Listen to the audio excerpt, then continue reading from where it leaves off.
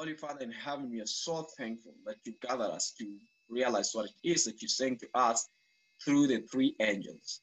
We are praying that now you may impress us with your spirit, that we may preach your message with honest simplicity, yet with a lot of clarity, that these messages being preached again may not be masked with sophistries, but rather, Lord, in their simplicities, not seeking to introduce anything new that is not really new, but just to teach what is in your word with clarity, we may be awakened to make decisions to follow thee.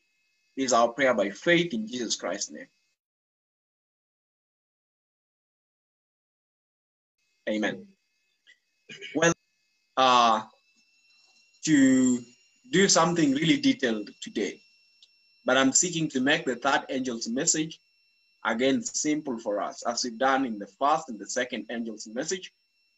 I I have been having uh just lost it. I've been having uh, uh, uh, some studies that uh, uh, I've been doing on on that, and I'm just thinking that in studying this, we might be uh, blessed to see what it is that the Lord is saying to us. And so I'll just try to share the screen because we want to begin reading and see what it is that the Lord is saying to us. And you see.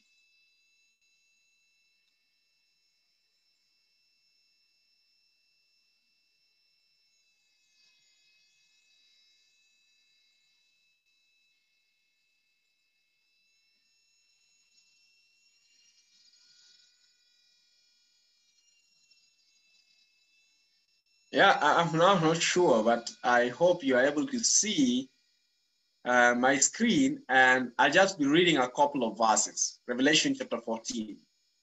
Revelation chapter number 14. That's where we're reading from.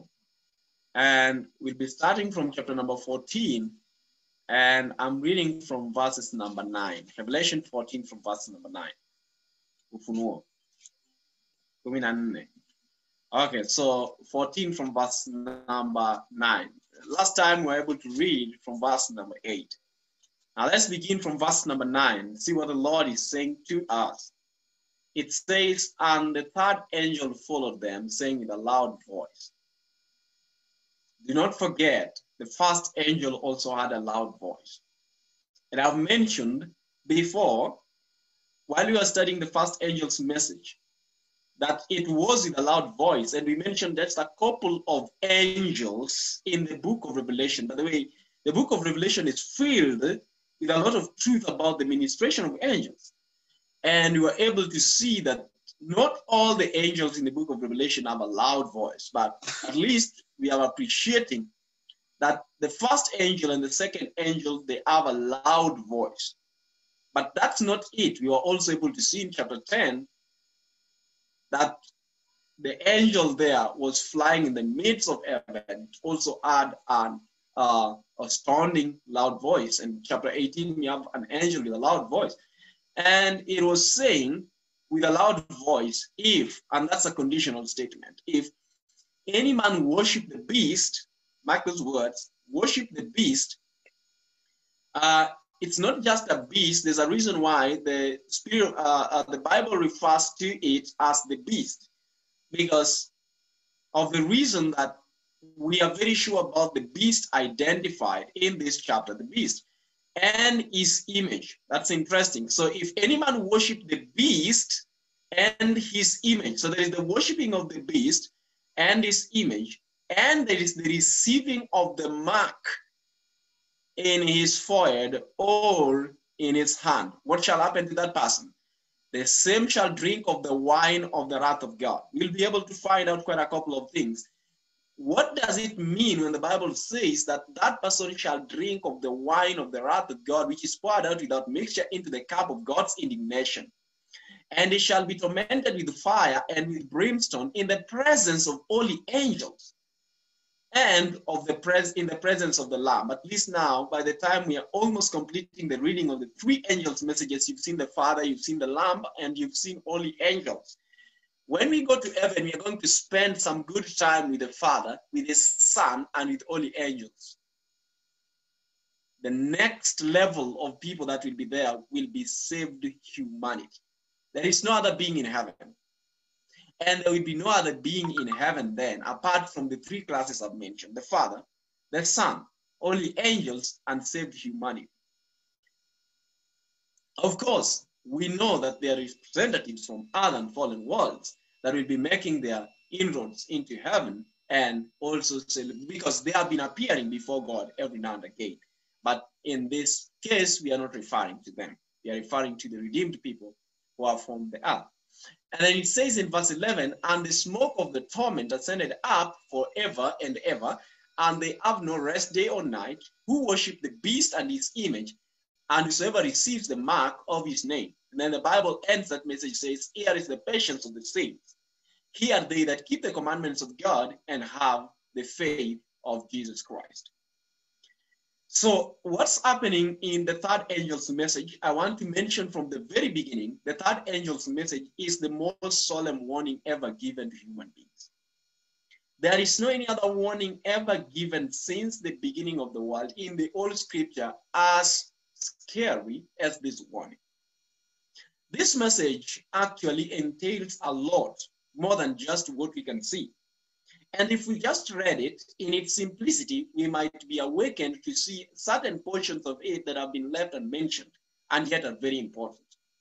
The third angel's message starts in verse 9 and it says, And the angel, which is the third one, followed, saying with a loud voice, If any man fear, or if anyone worship the beast and his image. Pause a little bit. We all, in studying the truth about the three angels' messages, have realized that actually the first angel was with a loud voice, for the first angel was actually preaching the gospel. And we realize that the third angel's message is not the gospel if the first angel's message is divorced from it. Now, many people have always clung to the fact that the third angel's message is righteousness by faith in verity. The question that begs to be answered is how is the third angel's message in verity? How is it? The third angel's message on the surface appears only to be a warning message, which is what it is. And the spirit of prophecy agrees, and the Bible agrees, it is a warning message. However, what makes it the gospel that Sister White says that the third angel's message, righteousness by faith, is the third angel's message in verity? It is simply because you can never preach the third angel's message except you preach the first angel's message, which includes give glory to God and fearing God and worshiping the only true God. And so any man who does not understand the first angel's message cannot claim that the third angel's message is righteousness by faith in verity. The third angel's message is a warning. And why is it a warning? Because there's already been a first angel's message preached and is to be repeated. There has to be a re preaching of the first angel's message. And the second angel's message is a separation message it is a message that separates the true people of God from apostate Protestantism, which is the Babylon referred to in Revelation chapter 14. But they are also called daughters of Babylon according to Revelation chapter 17. And so what happens is when the third angel is coming, the third angel is saying, if any man receive or worship the beast, we need to ask ourselves how do you worship the beast and his image? So then it means that you can never understand the third angel's message without understanding Revelation chapter 13. Because chapter 13 will give us a few more details about the third angel's message. Only those who worship the beast and his image and receive his mark receive the wine of the wrath of God poured upon them or out without mixture into the cup of his indignation. Let's go to Revelation chapter 14, or rather chapter 13, and see what constitutes worshiping the beast. Now, when you go to chapter 13, and we are reading from verses number 11, and I beheld another beast. Remember, it's not referred to as the beast, it's another beast. The first beast of Revelation chapter 13 is constantly referred to with the article, uh, what I would call the determinant uh, article there. And what happens is it's very easy to differentiate it from the beast that is rising from or out of the earth. And this beast had two horns and they were lamb-like. He was lamb-like. And he spake as a dragon. Now you'll be able to realize why the spirit of prophecy, rather, why the Bible says he spake as a dragon.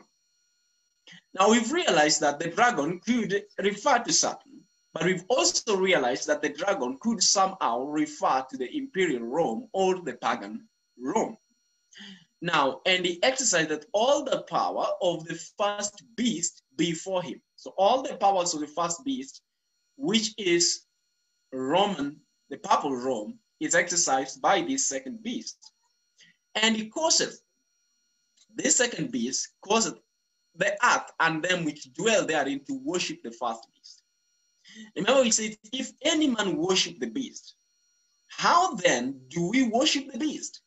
If any man worship the beast, how do we worship the beast? The world need to understand how they shall worship the beast. How the whole world will be brought into the worship of the beast, they must understand if they are to understand the solemn warning of Revelation 14 from 1 9 to verses 12.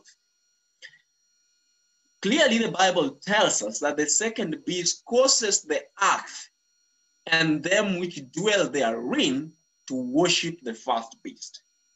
Now, just listen a little bit. If you pause there and go to Revelation chapter 13, go to Revelation chapter 13 and verse number 3.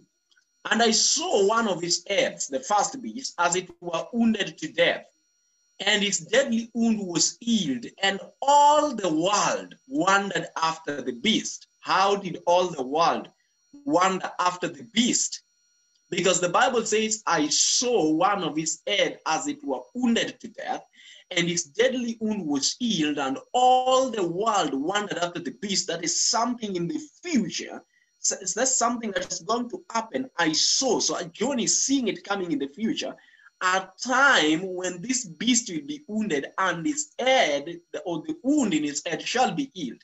And then the Bible says, and the whole world shall wander after the beast.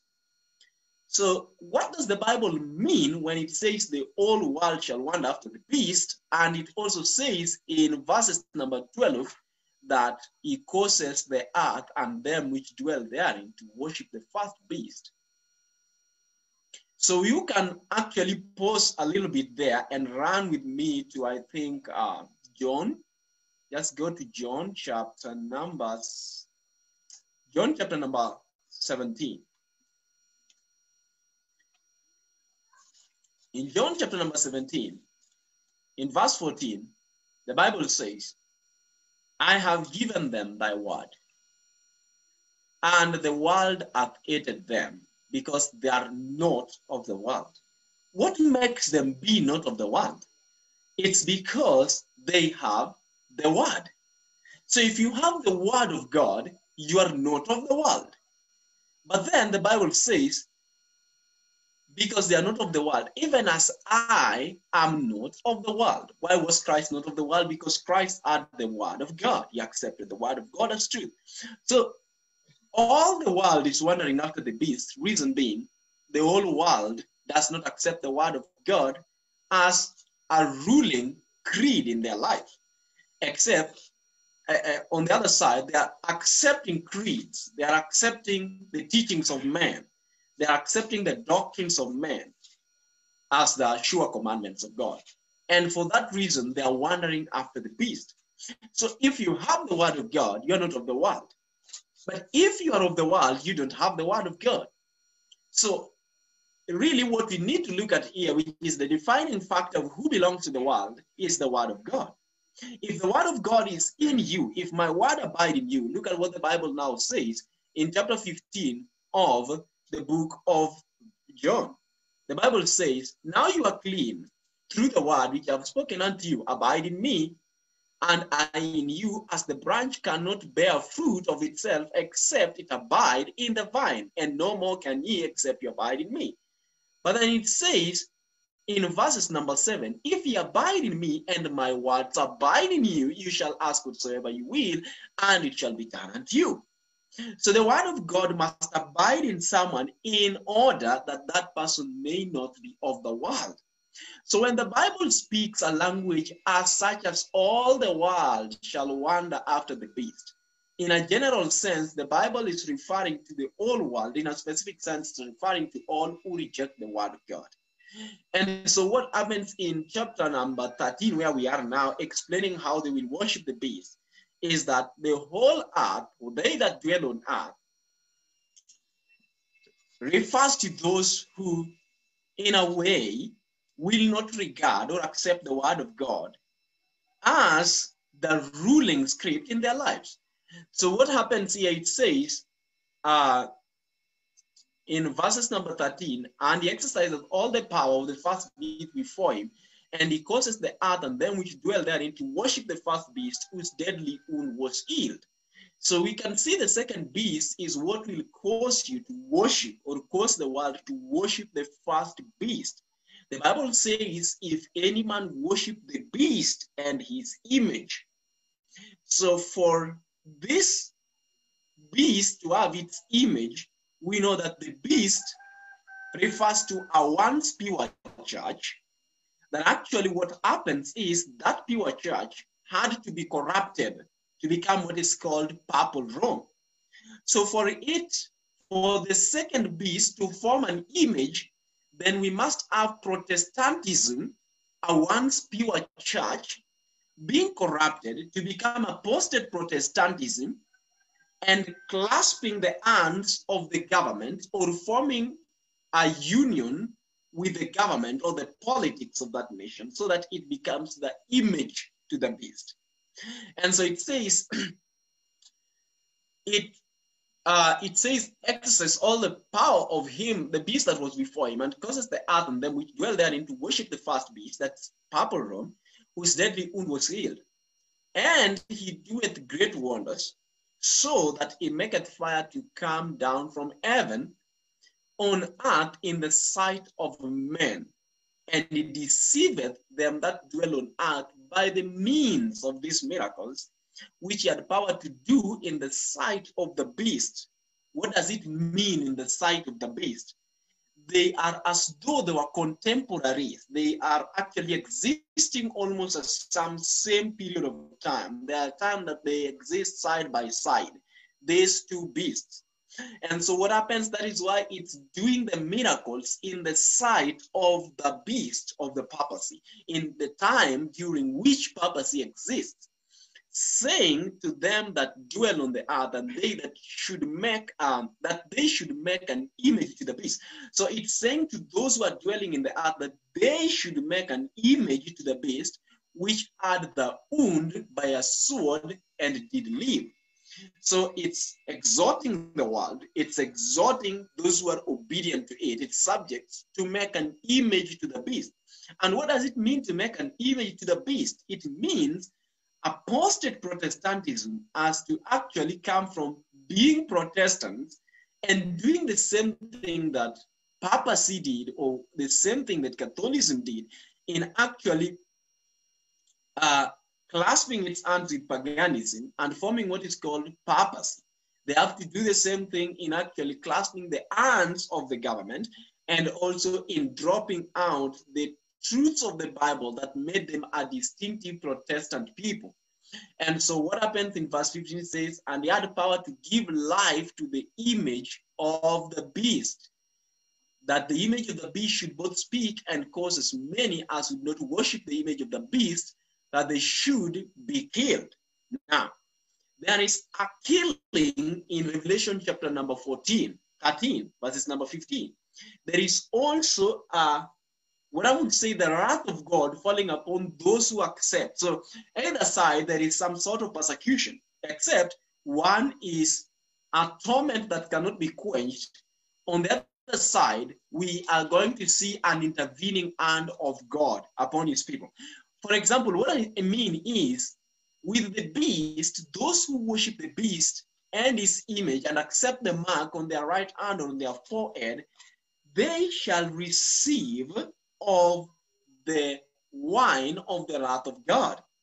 Those who, on the other hand, reject the beast, the worship of the beast and his image, and receive not his mark in their right hand or in their forehead, they are also going to be persecuted. And that's what the Bible says that they should be killed.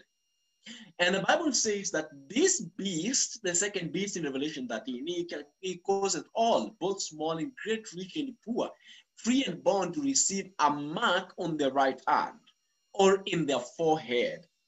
And then it says that no man might buy or sell, save he that hath the mark or the name of the beast or the number of his name, and here is wisdom. Let him that hath the understanding count the number of the beast, for it is the number of a man, and his number is 600, three score, and six. And so when you continue to verse chapter number 14, that is where now you find the three angels' messages, and we go back to where we are. And it says in verses number nine that the third angel was saying with a loud voice, If any man worship the beast and his image and receives the mark in his forehead or in his arm, we realize in order to worship the beast, we must have the second beast, which is the beast coming up of the earth, which is apostate Protestantism or uh, those who had actually left the truth the Protestant who left Europe came into America as the earth, saving the woman, settled there, and were protesting against the falsehood of Catholicism, now dropping their bars and beginning to clasp hands with papacy in terms of what they believe. The Bible says, if any man worship the beast and his image and receive the mark on his forehead or in his hand, the same shall drink of the wrath, wine of the wrath of God. We've realized it is only possible to do worship the beast through the deceptions that will be uh, will be brought in by the apostate Protestantism. Now, you need to understand something really clear that the Bible says in chapter 16, and go with me, of book of Revelation, and see verses number 12. It says in verse number 12 and 13, and the sixth angel poured out his vial upon the great river Euphrates, and the water thereof was dried up, that the way of the kings of the east should be prepared. And I saw three unclean spirits, like frogs, come out of the mouth of the dragon, and out of the mouth of the beast, and out of the mouth of the false prophet. For they are the spirits of devils working miracles, which go forth unto the kings of the earth, and of the whole world to gather them to the battle of the great day of the Lord God Almighty. And so we are already seeing that here there is a reference to the false prophet, of which thing we know the dragon has been mentioned as it is mentioned in Revelation chapter 12. And we know the dragon exists also in chapter number 13. We are also seeing uh, the beast the beast, and you need to look at that article there, beast, so that refers to the papacy, and then out of the mouth of the false prophet. It goes without saying that most probably the false prophet is the same as the, the beast that we are shown to be coming up out of the earth. Because we're already seeing the dragon, according to chapter 12, we are seeing the beast, which is the first beast that refers to the papacy. And now here we are seeing the false prophet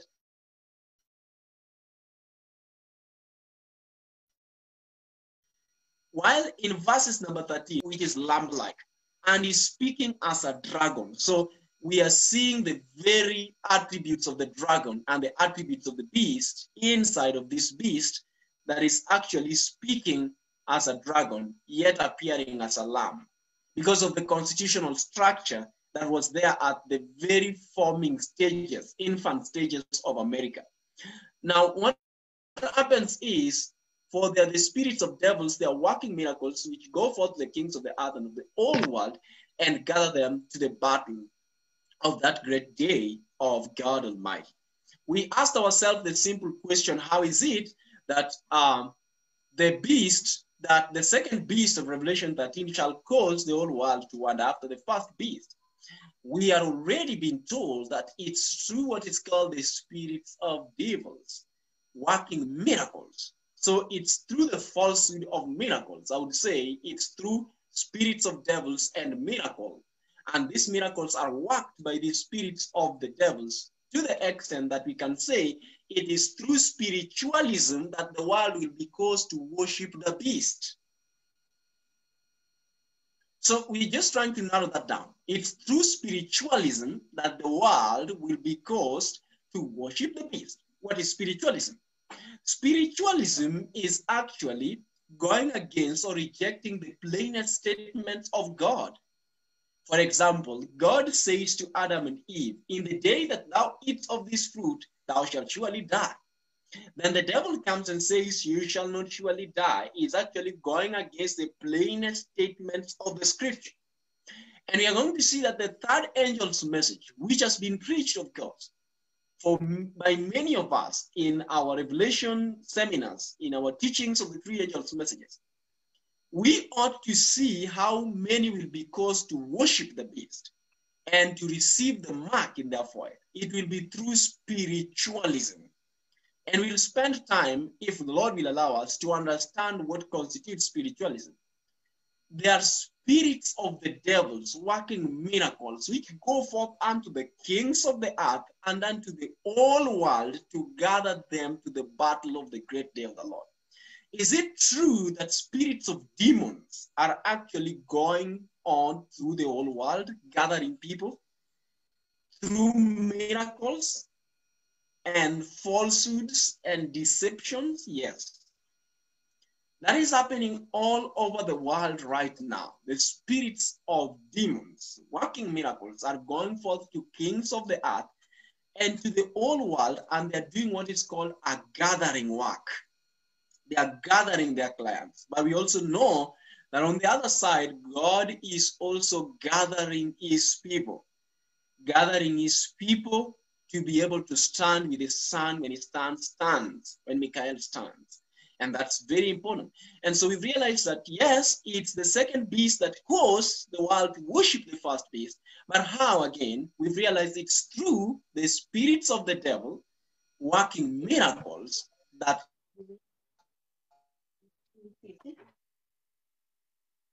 actually uh, subjects, a great day of the Lord. Revelation chapter 19, verses 20, if you read, this is what the Bible says.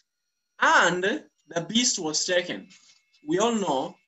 I, I will begin reading from uh, verse number 19. And I saw the beast, and we know that refers to purpose, which is the first beast in Revelation chapter 13. And the kings of the earth and their armies gathered together to make war against him that sat on the horse and against his army. And we know that's huge because this is actually showing us the final event, the destiny of this beast. And we can see it's almost coming to its end. And what's happening is I saw the beast, that is papacy, and the kings of the earth and their armies gathered together to make war against him that sat on the horse and against his army. And the beast was taken. And with him, the false prophet that wrought miracles before him.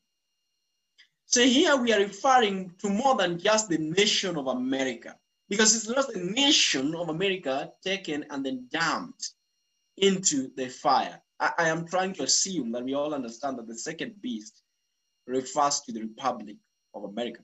But then I am just trying to help us understand deeply what this refers to. So it's not the nation itself taken and dumped into the lake of fire, according to what I understand. But what is referred to are the people, the Protestants that once were protesting, but have ceased to protest, and then were foremost in stretching their hands over the gulf to take hold of spiritualism.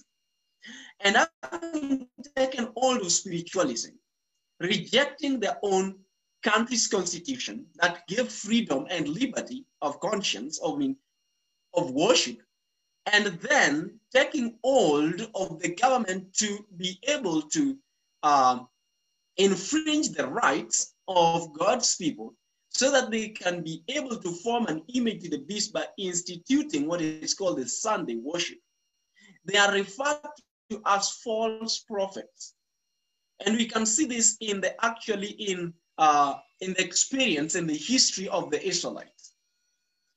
And we'll be able to look at what constitutes a false prophet.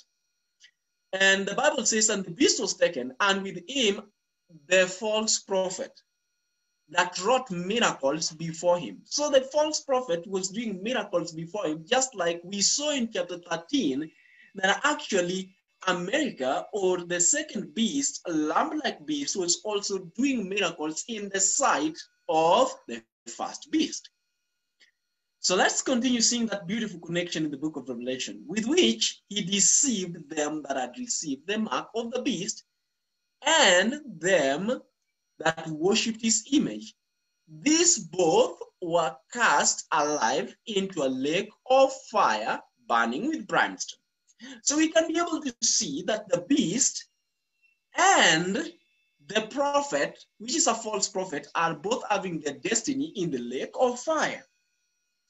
Now, the second beast that we are referring to, apostate Protestantism, which is the image of the beast, we have already seen in clear terms was lamb-like, just like we saw Catholicism began as a pure church of God.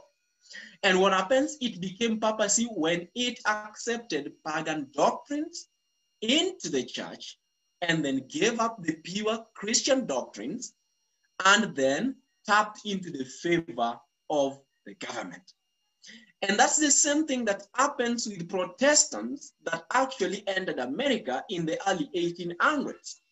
These beautiful churches that defended the truth of God at one point gives up the doctrines that once made them a peculiar people and then they tap into the creeds of the world and make them their defining teachings.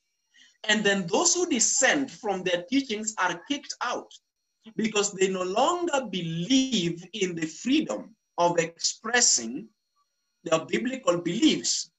They stand on the platform of their creeds. And then what happens? They tap into the government to help them enforce their creeds which then makes them follow the very example of papacy. And any denomination or movement or church that follows those footsteps must have its destiny in the lake of fire burning with brimstone. And then the Bible says in verse 21, and the remnant was slain. The remnant was slain with the sword of him that sat upon the horse. Which sword proceed out of his mouth? And all the fowls were filled with the flesh. Listen to that again. And the remnant was slain with the sword of him that sat upon the ox, which sword proceeded out of his mouth and all the fowls were filled with their flesh. The judgment spoken of in the third angel's message proceeds from God. I will come to that point. But mark those words. They are not a judgment that comes as a result of divine recession. God Himself takes responsibility through his son Jesus Christ to punish those who are rejectors of his truth at the end of the world's history. It is very important that spiritualism will rob some of us of the plainest statements of the scripture and will begin teaching doctrines such as God does not destroy. When the third angel's message is very plain that God Himself will pour out His wrath, the wine of His wrath. And you can be able to see that it's through miracles, spirits of demons, spiritualism, that actually causes thousands to drift from the platform of truth. The third angel's message is a warning. If any man receive, worship the beast or his image and receive their mark, then they have their portion in the lake of fire. The Bible is clear to us in regard to who constitutes the false prophet that we've read in chapter number 19, verse 20. And I'll read for us. The Bible says in the book of Deuteronomy, go with me to Deuteronomy, chapter number 13.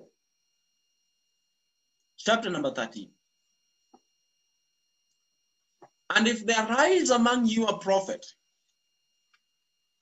or a dreamer of dreams, and giveth thee a sign or a wonder, that's akin to a spiritualist.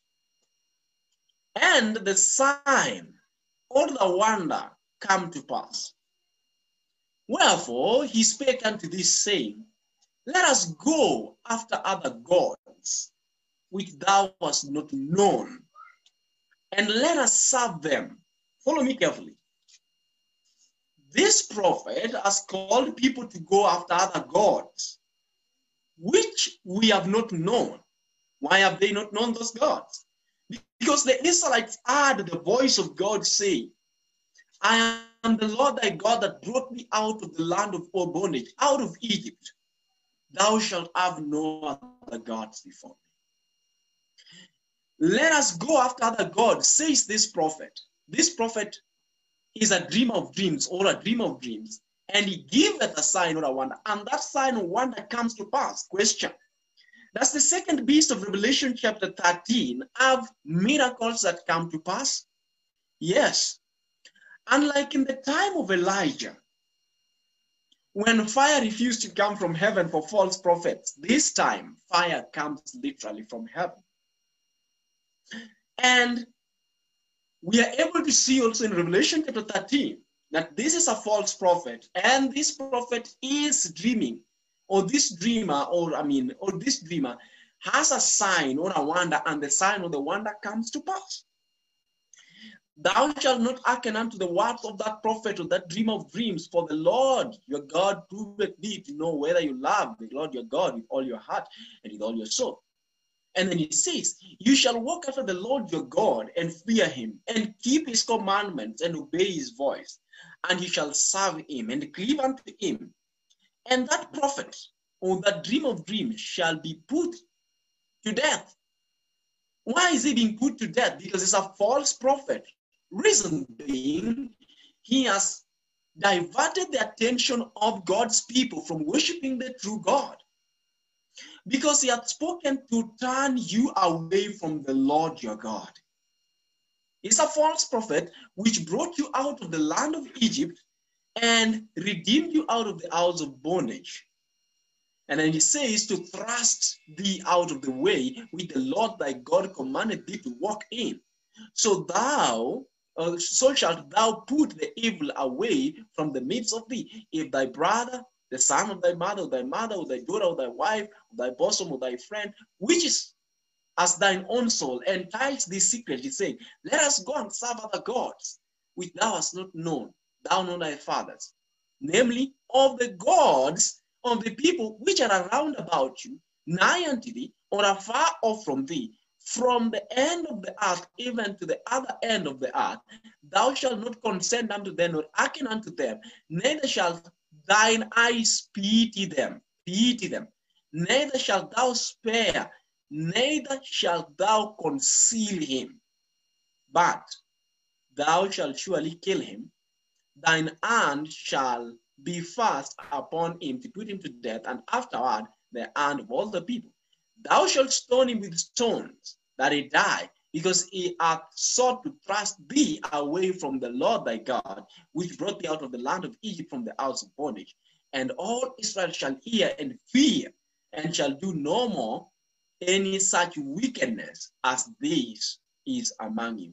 If thou shalt hear, say in one of thy cities which the Lord thy God hath given to thee to dwell therein, saying, Certain men, the children of Belial, are gone out from among you, and have withdrawn the inhabitants of their city, saying, Let us go and serve other gods, which ye have you have not known. Then shalt thou inquire and make search and ask how diligently.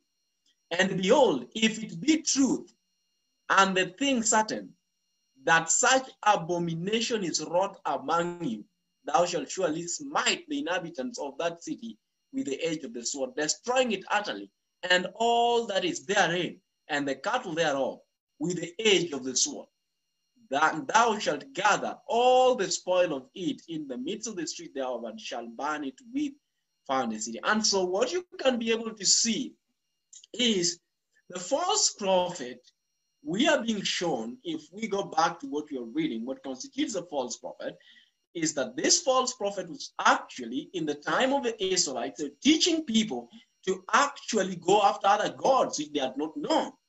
And you realized also that the false prophet is also working miracles, just the same way we also saw the false prophet in chapter number 19, um, working miracles in the book of Revelation. And in chapter number 13, it's working miracles. It's the same prophet in chapter number 17, uh, 19, 16, and 14, and the same prophet in chapter number 13 that is working miracles. And these miracles are coming to pass, just like the Bible has said in Revelation chapter 13. If we go back there just to uh, review what's going on, the Bible says in verse 15, and he had the power to give life unto the image of the beast of 14. And he deceived them that dwell on the earth by the means of those miracles which he had the power to do in the sight of the beast, saying to them that dwell on the earth, that they should make an image to that beast which had the wound by a sword and did live. And so it's through the deception, the miracles, so that it's even causing fire to come down from heaven.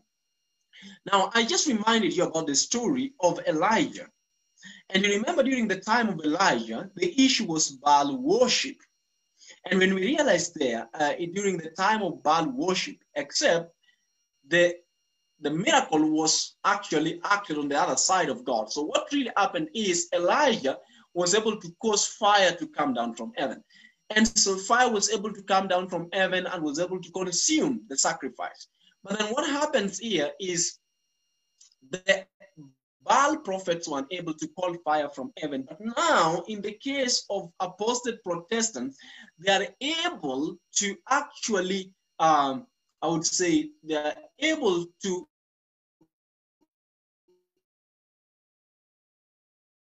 counterfeit in a way that are, that even those who appear to be intelligent, professed Christians in the third angel's message, without the word of God, will be deceived. Now, that is why we are told in great controversy that only those who fortify, who brace their mind in the sacred messages of God's word, shall be able to stand the final conflict. The warning coming to us in the third angel's message is if any man worship the beast. But how are we going to worship the beast? We realize it's not just America forcing us to worship the beast. As a nation, with its, uh, rather, let's say maybe the presidency and everything like that, the government, the Congress, all those things. No, I don't think that's the case. I think the case here is they're referring to apostate Protestant a Protestant America apostatizing so that through their deception, they are able to sway millions or billions of citizens of the world to wander after the first beast out. Through their miracles and through their deception, the false prophet will be working miracles that will deceive the whole world. and the whole world will believe miracles against a plain thus says the Lord. And in believing those miracles, they will accept to receive the mark of the beast in their forehead. What that means is they will believe it with all their heart, or in their hands because of persecution and because of the love of money and because they want to survive, they will be willing to surrender their religion, their faith, to be able to receive the favor of the government or the world. So it's really a trying moment for God's people. But again, I am glad to read Revelation chapter 14, verses number 9, that though we will be tried to the extent that we should be killed, there will be a death decree, God said to those who shall worship that beast, they will be thrown into the lake of fire. And what's the language that the Bible uses?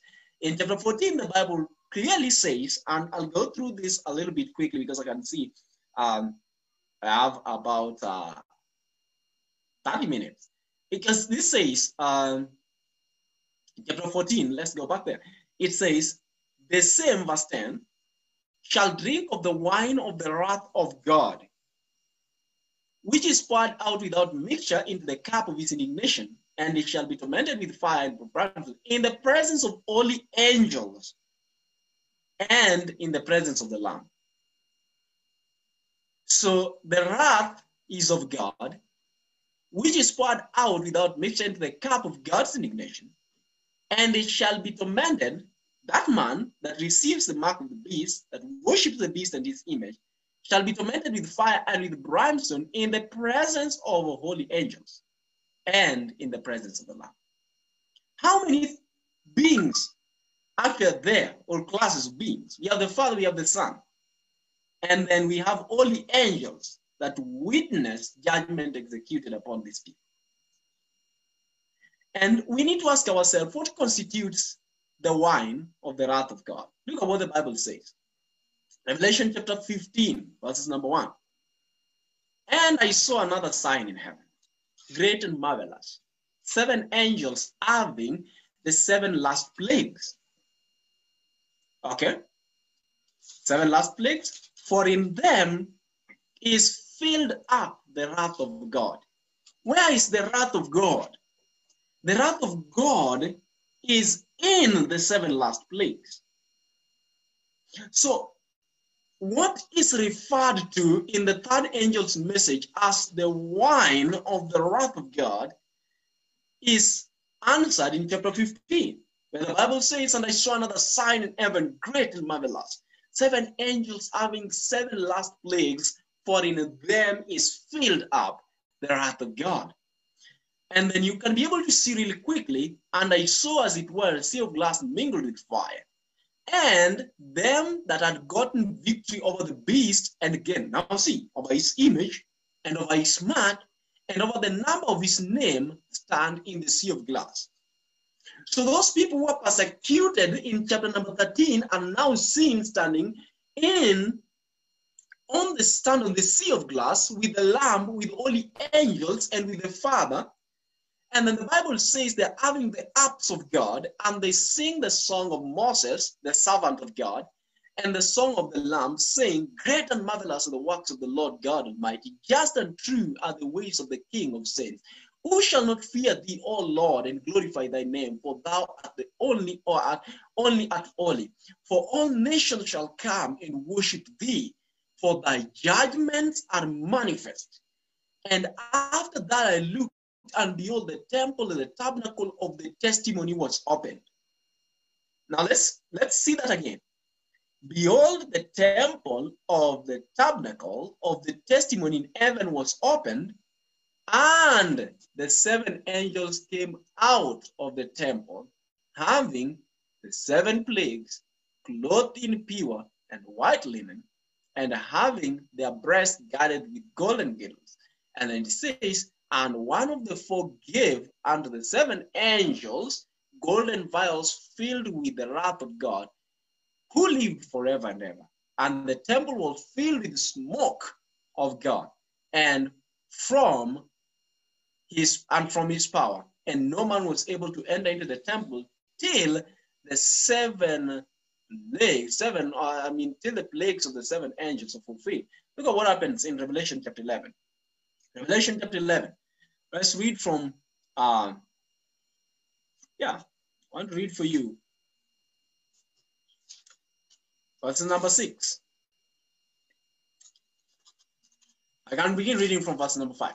And if any man will hurt them, fire proceeded out of the mouth and devoured the enemies. And if any man will kill, uh, and if any man will uh, hurt them, he must in this manner be killed.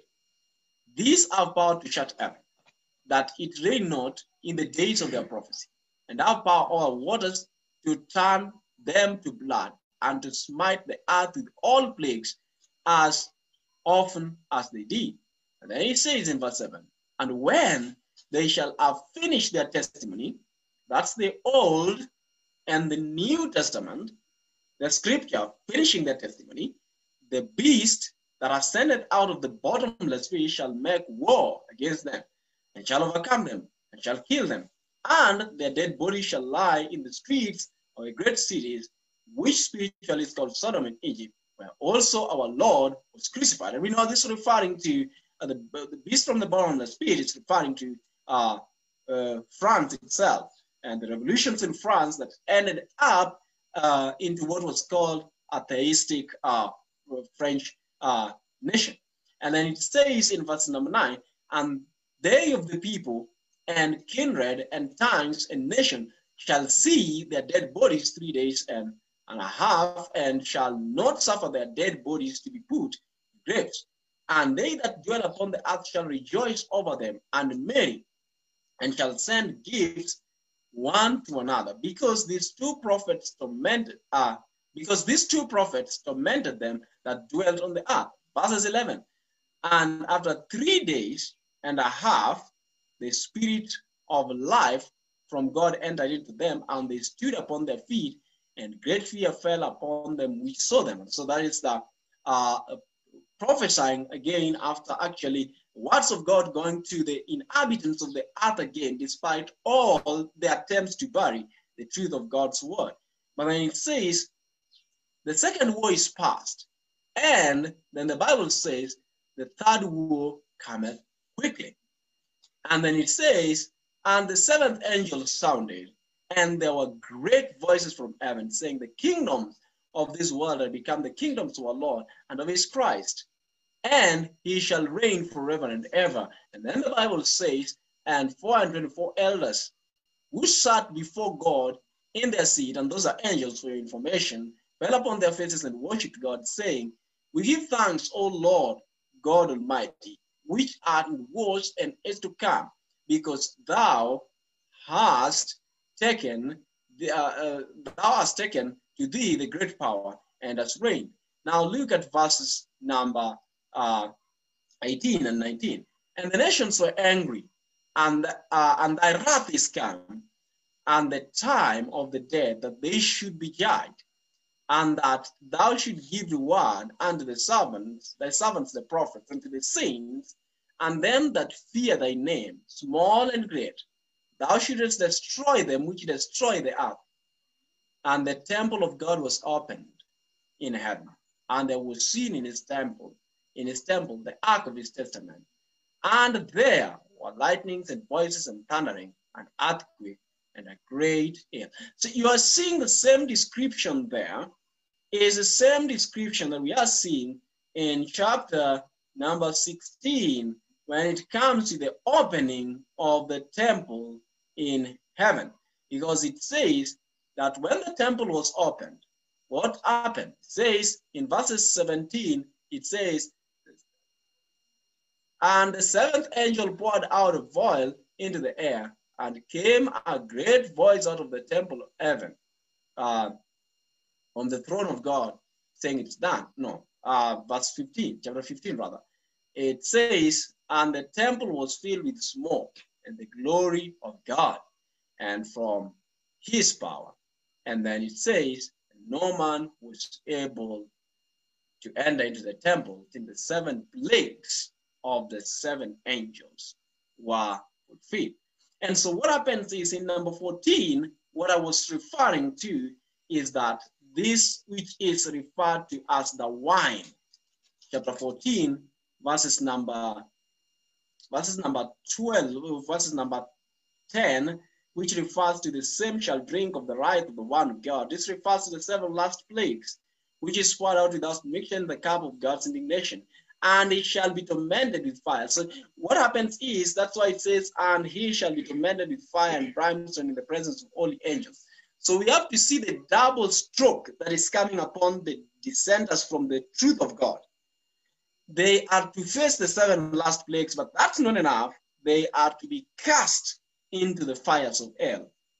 The end of this world's history. And it's important for us to be able to notice that their portion is double.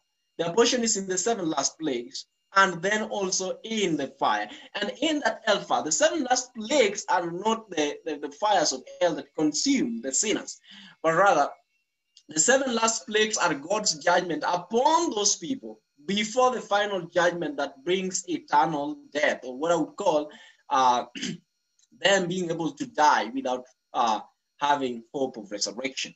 And so that is very important to see that that is in that angel's message. And then the smoke of their torment ascend up forever and ever. And they have no rest day nor night, who worship the beast and its image, and whosoever receiveth the mark of, in, of his name. And then the Bible says, Here is the patience of the saints. Here they that keep the commandments of God and the faith of Jesus Christ. Why is it the patience of the saints? Look at what the Bible says in uh, reading from the book of uh, Hebrews, Hebrews chapter 11, and uh, chapter 10, sorry. Chapter 10 is where I'm reading from, and I'm reading from verse number 27. But a sudden fearful looking for judgment, fear indignation, we shall devour the adversaries. He that despised Moses' law died without mercy under two or three witnesses. Of how much sorrow punishment, suppose ye, shall he be thought worthy who hath trodden underfoot the Son of God, and hath counted the blood of the covenant wherewith he was sanctified, and an unholy thing and hath done despite unto the Spirit of grace. Then it says in the next verse, For we know him that hath said, Vengeance belongeth unto me, I will recompense, says the Lord. Again and again, the Lord shall judge his people. It is a fearful thing to fall into the hands of the living God. Verse 32.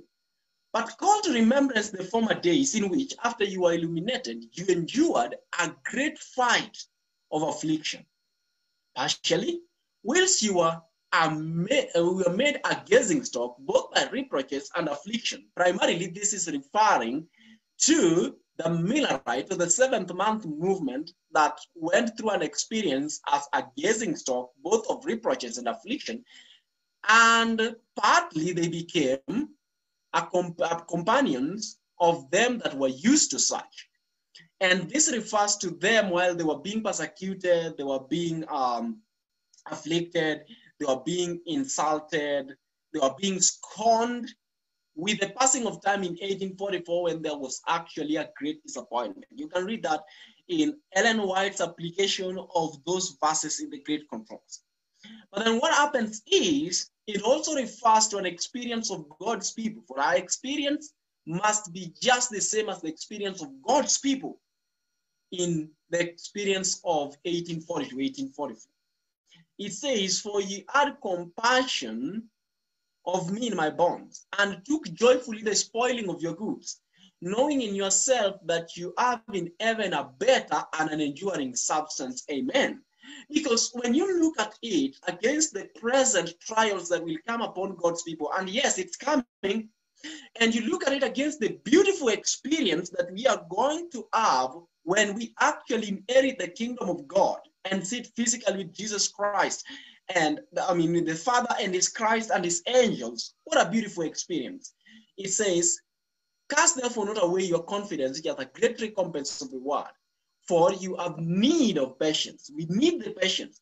So since 1844, when the third angel's message was preached, there has been patience. We have been waiting for the second coming of Christ. The pioneers are waiting for the second coming of Christ. They look forward to seeing Christ, but Christ has not come today. And that is why the third angel's message ends by saying, Here is the patience of the saints. From 1844, they expected Jesus Christ to have come on 22nd October, which was falling on the 10th day of the seventh month of the Jewish calendar. But Christ did not come. And because they were on the platform of the truth, they remained faithful to the very end. Their faith was tested, their patience was tested. And by the way, I'm going to read something about patience for you in a little while. For you have need of patience that after you have done the will of God, you might receive the promise. So after doing the will of God, many of those old standard bearers, they went into the soil, they slept there, believing and trusting that one day they will receive the promise. For yet a little while, and he that shall come will come and will not tarry. So you can see the blessed promises that come to God's people during the preaching of the third angel's message that Christ will no longer tarry. And now look at how it comes. Now the just shall live by faith. That is where now. Ellen White understands this beautifully and says the third angel's message is righteousness by faith in verity. Now, some people have thought that righteousness by faith was taught from 1888. That's a false understanding. Righteousness by faith was being repreached. The Philadelphian Adventist Church believed in righteousness by faith as the gospel in verity. And what happens is from 1844, the just were living by faith. But if any man drew back, God's soul would have no pleasure in him, drawing back from the faith which was once delivered to the saints. But we are not now of them who shall draw back unto perdition, but of them that believe unto the saving of the soul. What is the importance of patience? I'm reading from James. I'm reading from the book of James, and I'm thinking that I'm right. Yes. The Bible says, knowing this, that the trying of your faith worketh patience. James chapter 1, verse 3. The knowing this, that the trying of your faith worketh patience. How will they develop the patience? Their faith will be severely tried. So the third angel's message comes to God's people in a time of great trials of their faith. The trying of your faith worketh patience. And then it says in verse number four, but let patience have perfect work. Patience must have a perfect work that you may be perfect and entire, wanting nothing. How do we become perfect and entire, wanting nothing? There must be a trial of our faith, and that is why we must come into direct conflict with the beast and his image. If you are to listen to that beautiful uh, uh, message from the third angel, we have to be tried by the beast and his image. Verse number five says, And if any of you lack wisdom, let him ask of God, which giveth liberally and upbraideth not, and it shall be given him. So you can be able to see clearly that our patience is to be tried. In fact, you can be able to see that, I guess, in uh, I think it's chapter 5, if I'm not wrong, I guess so look at chapter 5. And in chapter 5, this is what the Bible says in verse number six, uh, seven. Be patient, therefore, brethren, unto the coming of the Lord. Behold, the husbandman waited for the precious fruits of the earth, and at long patience for it until he receiveth the early and the latter rain. And that's what God is waiting for when it's written in the book Christ Object Lesson, beautiful page 69. It says that God, Christ, is waiting with longing desire to have the character of Jesus Christ perfectly revealed in his church. What is he waiting for? Be patient, therefore, brethren, unto the coming of the Lord. Behold, the husbandman waited for the precious fruit of the earth and at long patience for it until the, he receives the early and the latter rain. And how is that perfection developed? The trial of our faith worketh patience. It's important to understand that that is why John now says, Here is the patience of the saints. Here are they that keep the commandments of God and have the faith of Jesus Christ. It's very important. Here are they that keep the commandments of God and have the faith of Jesus Christ. Did you notice that colon? Because it's an explanation of those who are patient. The patience of the saints are the people who are keeping the commandments of God because the third angel's message is what led the Advent movement into the most holy place. So the third angel is what took them into the most holy place experience. So those who had the patience of waiting, who did not give up, who looked not by sight but by faith and stayed firm on God's word, not deceived by miracles, not deceived by spiritualism, not any of these things. They are they who are able to keep the commandments of God. And they are the same people who will keep the commandments of God and the same people who accepted the faith of Jesus Christ. Why? For they accepted no other righteousness but that which is of Christ. Because their righteousness was only but filthy rags. And so, in looking at the third angel's message uh, uh, this way, uh, I find it a little bit simple and understandable. Let me just read for you something from a few scripts from the Spirit of Prophecy, if I may find time to, in the few moments I left. But this is what it said in the beautiful book uh, 4SP as I was going through Spiritual Gifts, Volume 4. And we'll be reading that and then just, just closing uh, our remarks in there. Spiritual gifts, so that we connect a few things. Spiritual gifts, um, Volume 4. And uh, we are going to read uh, this beautiful chapter, the third angel's message. And I want to read for us what she says. When Christ had entered the most holy place of the heavenly sanctuary to perform the closing work of the atonement, he committed to his servants the last message of mercy to be given to the world. What is the third angel's message? It's the last message of mercy to be given to the world. Such is the warning of the third angel of Revelation 14. Immediately following the proclamation, the Son of Man is seen by the prophet coming in glory to reap the harvest. And so after the proclamation of the third angel, there is no other message to be preached. It's the last warning. Someone says no. But there's the fourth angel of Revelation chapter 18. Now I'll tell you one thing.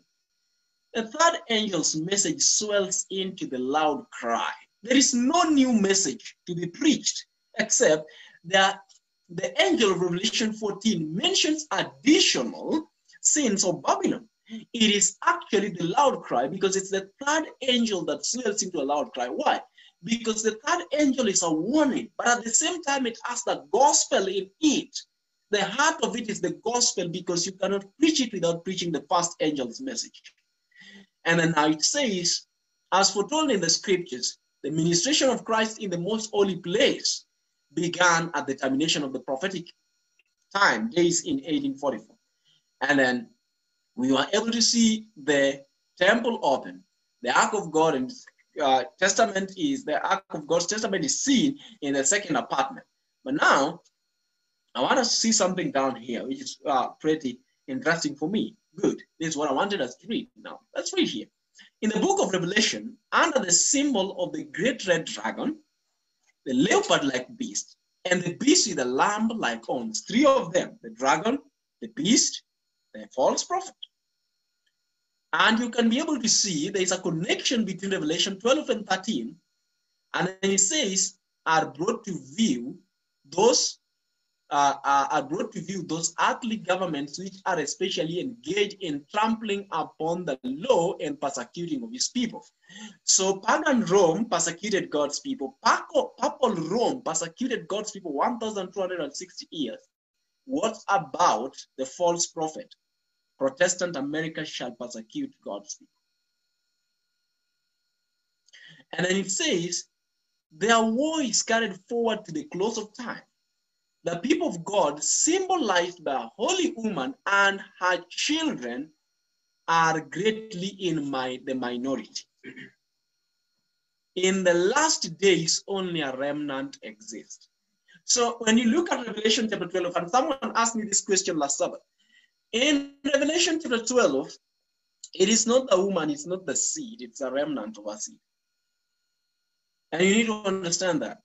It's the remnant of a seed where it says in the last days only a remnant of the woman and the seed exists.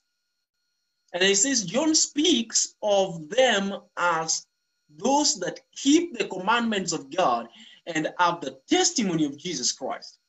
Now, through the great powers controlled by paganism and papacy, symbolized by the dragon and the leopard beast, Satan, for many centuries, destroyed God's faithful witness under the dominion of Rome.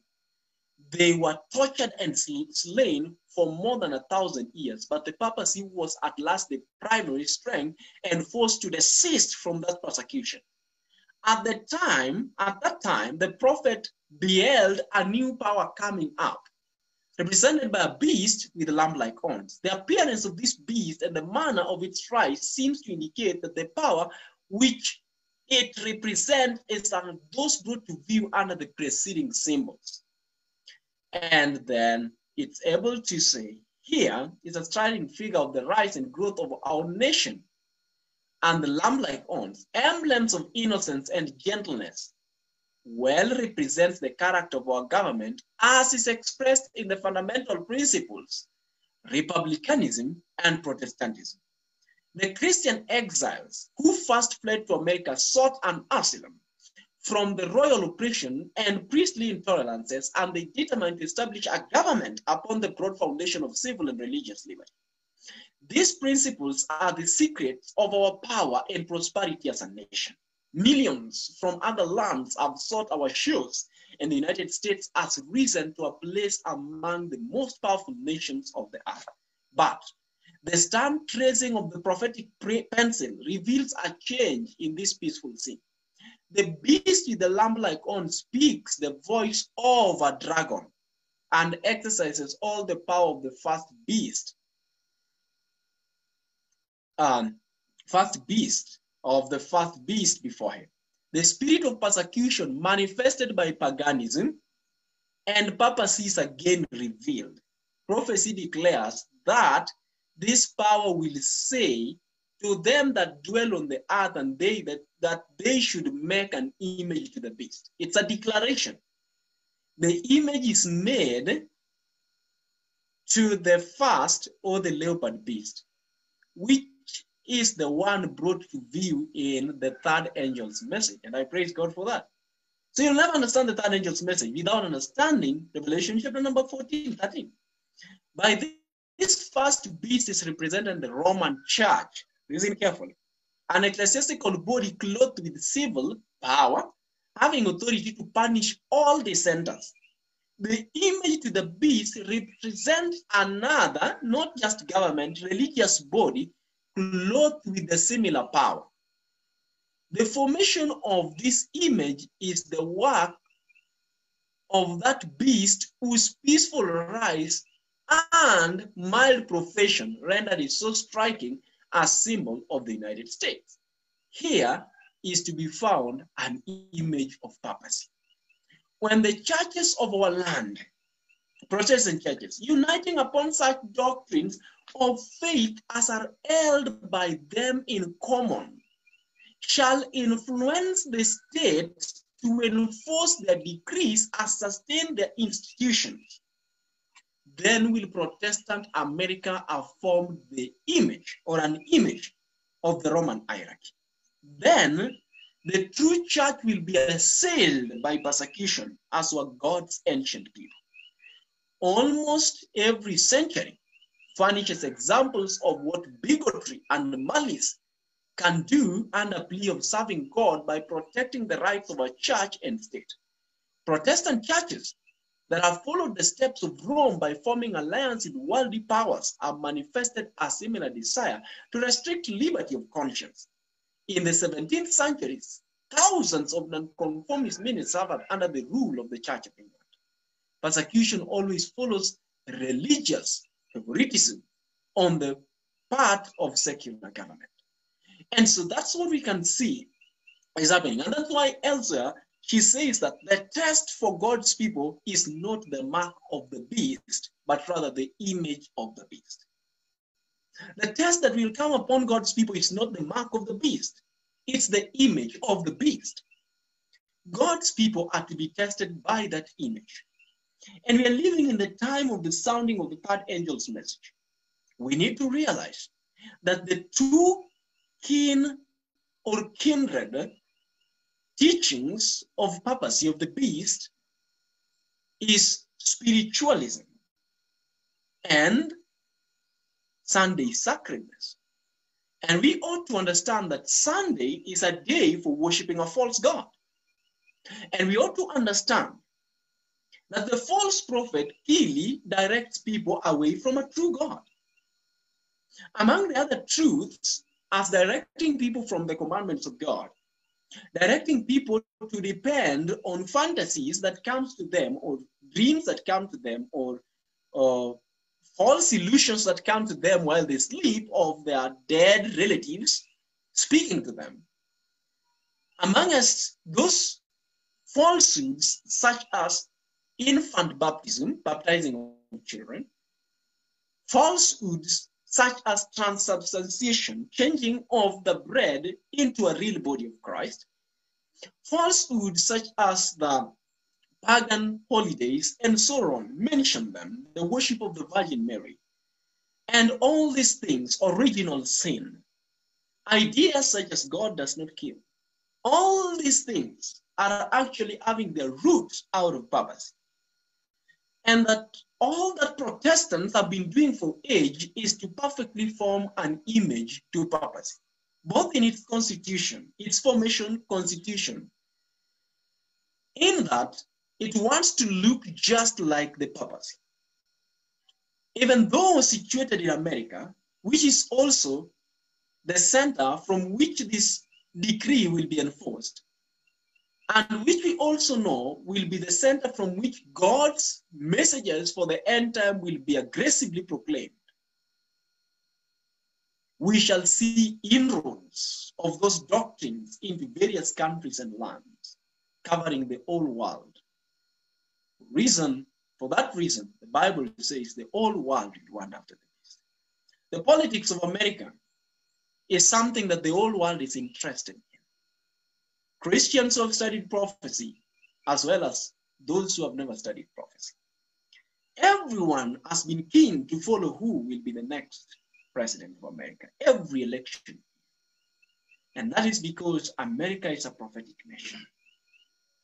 And everyone is concerned about the state of religion in America.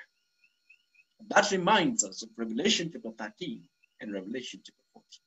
The third angel's message is the most solemn one. If any man worship the beast and his image, if any man accepts the doctrines of the beast through the deception that is brought in by apostate Protestantism. Mark my words, the apostate Protestantism is the arm, the right arm that the papacy will use to get it back to its root. Apostate Protestantism will rush and call for the help of the government. And where is that? In the United States of America. Because that is the birth of apostate Protestants. They are the ones who will call the help of the government.